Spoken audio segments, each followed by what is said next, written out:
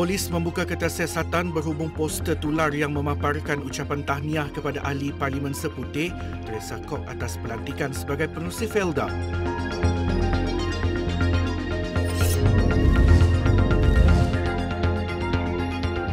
Seorang bekas pemain bola sepak kebangsaan ditahan selepas disyaki menceroboh sebuah bilik hotel yang dihuni seorang wanita di Petaling Jaya Rabu lalu.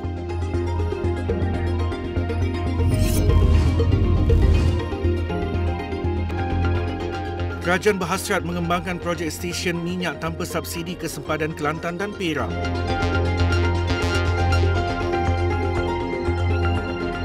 Laporan penuh di saluran 501 dan astroawani.com.